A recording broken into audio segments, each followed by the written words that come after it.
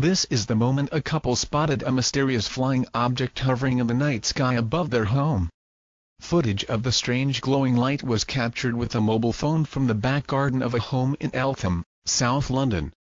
Stunned couple Charlie and Gemma were having a cigarette outside at about 9 p.m. on Monday when they noticed the unidentified object hanging motionless in the distance. Charlie grabbed his girlfriend's phone and managed to capture 30 seconds of footage of the bizarre light.